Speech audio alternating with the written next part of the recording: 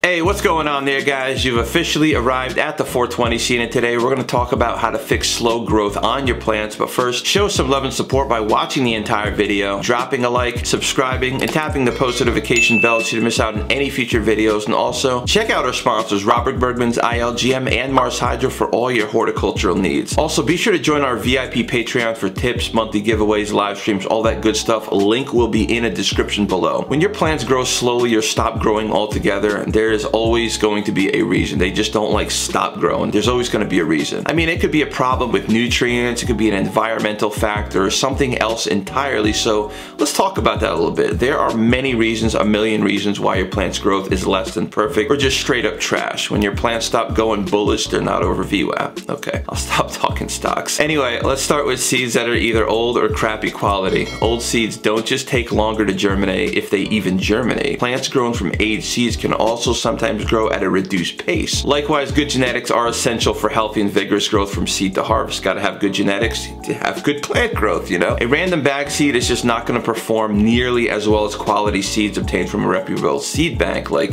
ILGM or Nirvana Shop, for instance. Those are, those are like my two go-tos, you know what I'm saying? Root health. Now, this is a biggie, kind of like the Skittles.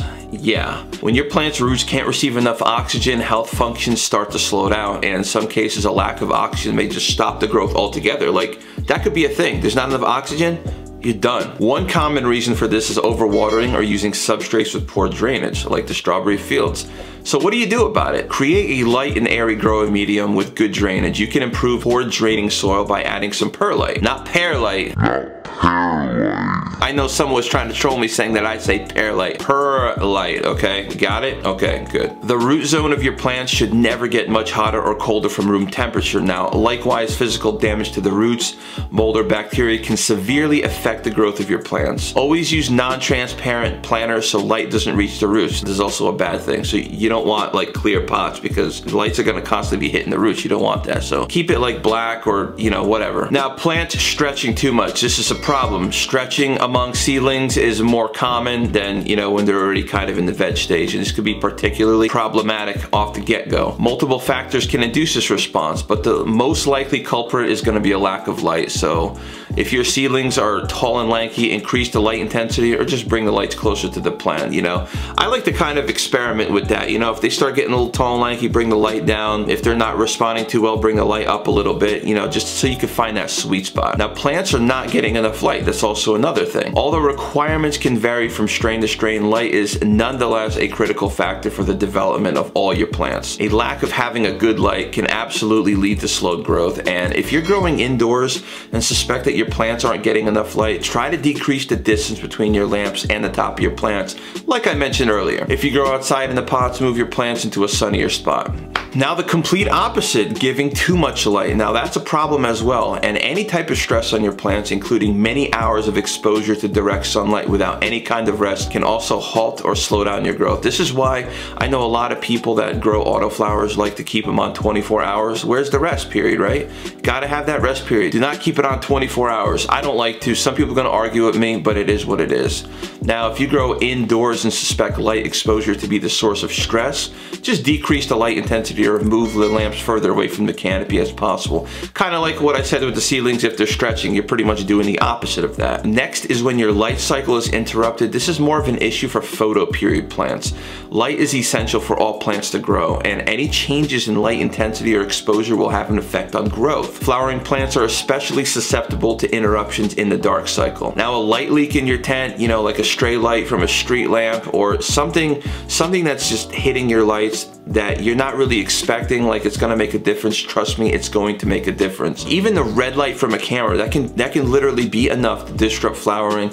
And in the worst case scenario, your plants are gonna turn hermy and that's just that's just bad news all around, you know what I'm saying? So for that reason, it is very important to maintain complete darkness during the lights off hours. Exposing your plants to irregular light hours can cause a hormone imbalance that confuses their internal clock and it's gonna screw them up. They're gonna have no idea whether they should be in veg or flower. Now, your plants could flower prematurely or they could revert back to the veg stage like I just said. If this happens, growth and yields will greatly suffer and for that reason, make sure to keep your light cycle consistent. Overwatering is the next one and this is like huge. I mention this in like literally every single video and it's the most common mistake made by newer growers.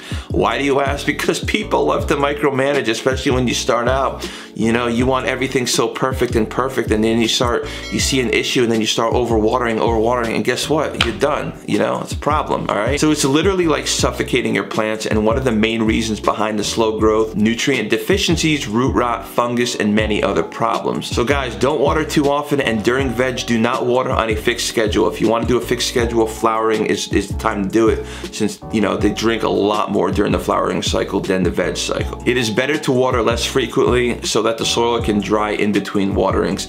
A good way to test whether you should water or not is to lift up the pot itself. If it feels quite light, it is time to water again. And another thing is, let your leaves do the talking, you know what I'm saying? Let them tell you whether they need water or not.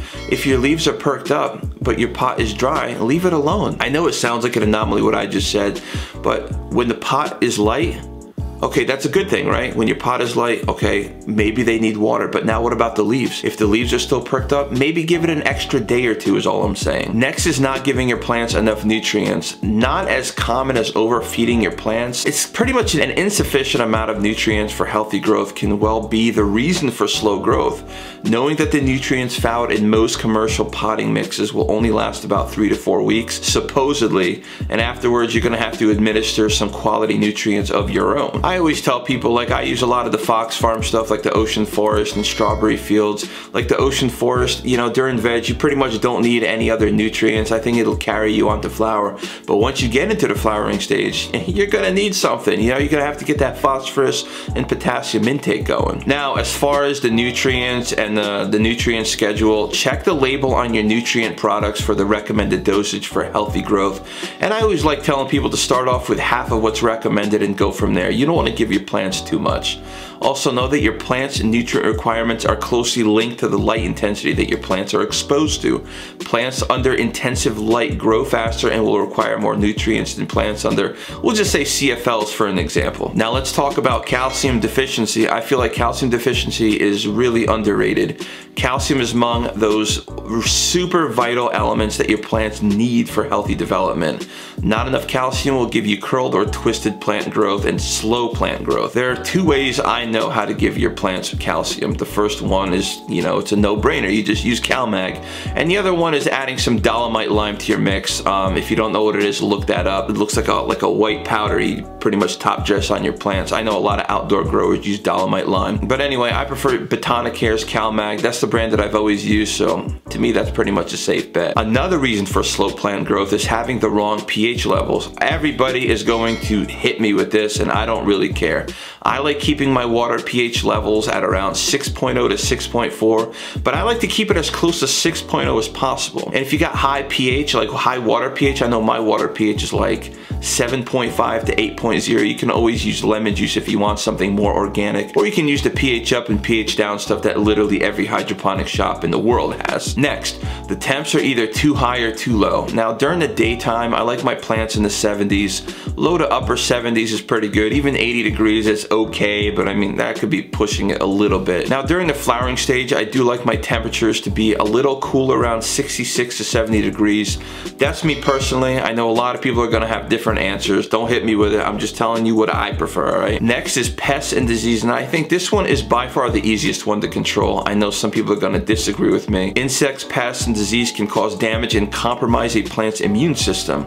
Now, in a best case scenario, your plants may survive, but you're gonna have poor yields. You know what I mean? I, they'll survive, but your, your yields are gonna suck, so it's almost like, what's the point, right? Now, in the worst case, your plants could just simply just wilt and die. Insects may feed on your leaves, affecting the plant's ability to retain water and transpire. Now, other pests may damage the roots or cause additional problems. Now, anytime your plant is sick or infested with insects, it will spend most of its energy defending itself and recovering from damage, which will slow growth because they're, they're trying to defend themselves. They don't care about the growth at this point. They're trying to stay alive, all right? I found that to get rid of bug problems, a combination of good airflow, some cinnamon top dress, and add some microbe lift, and your plants should be good to go. I'm telling you one thing, guys, insects absolutely cannot not stand cinnamon. So, I mean, everybody's got cinnamon in their house, right? I think fighting off pests and diseases, especially like having bug problems, is like the easiest thing. And airflow, whenever I have good airflow on my plants, you're never gonna see any bugs around. They hate that. They hate airflow. They like that stagnant air. That, that's where they thrive. All right, guys, so before I close out today's video, I wanna thank everyone on screen for supporting us on Patreon. If you want your name in here, just simply join us, you know what I mean? I'm dying. So I'm gonna close off today's video. Be sure to drop a fat thumbs up, drop that fat like, and subscribe if you're not already subscribed. And I hope everybody has a great rest of their day. And as always, stay safe. Peace.